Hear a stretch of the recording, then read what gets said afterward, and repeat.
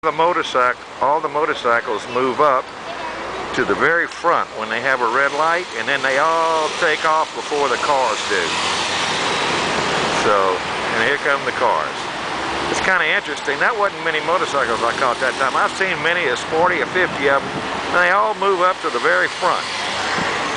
And uh, man, it looks like they're off to the damn races. It, it's really interesting. Just another street scene here and uh, beautiful Buenos Aires.